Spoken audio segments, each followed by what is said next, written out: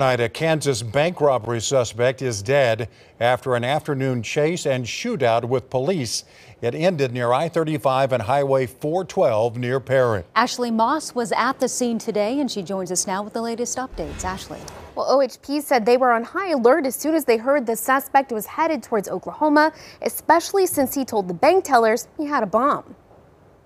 A bank robbery suspect was fleeing Kansas southbound on I 35, about to enter the state of Oklahoma. During the robbery, obviously he was armed, uh, but he did tell uh, officials there at the bank that he had a bomb. OHP said the state to state chase started after the suspect held up this Wellington, Kansas bank early Friday afternoon. At the time of the holdup, the suspect reportedly told the teller he had a bomb. He fled immediately during that pursuit. OHP telling News 4 the pursuit ended in this area near I 35 and US 412 near Perry when the suspect ditched his car and started running away before firing at the troopers who fired back, killing him. At the end of that foot pursuit, the suspect pointed a firearm at troopers and troopers returned fire.